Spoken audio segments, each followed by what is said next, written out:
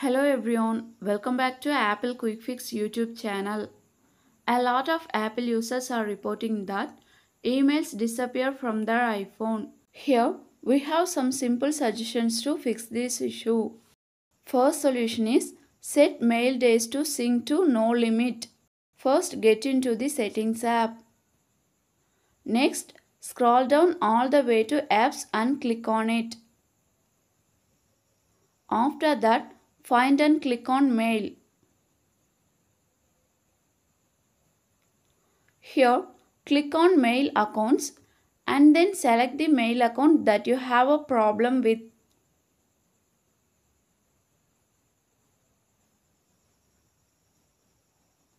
Then click on mail days to sync and choose no limit.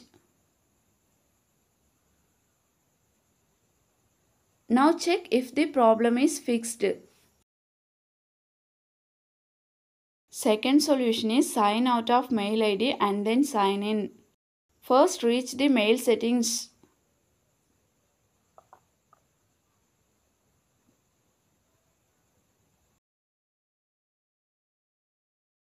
Then select the mail account that you want to delete. Here click on delete account and choose delete from my iPhone to confirm.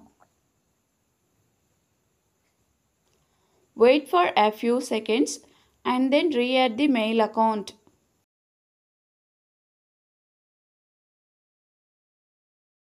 Now check if the problem is fixed. If the problem still continues, force close apps and restart your iPhone. Then check the emails on your iPhone. Third solution is update the mail app. Open the App Store and update the mail app if an update is available. Then check if the issue is resolved.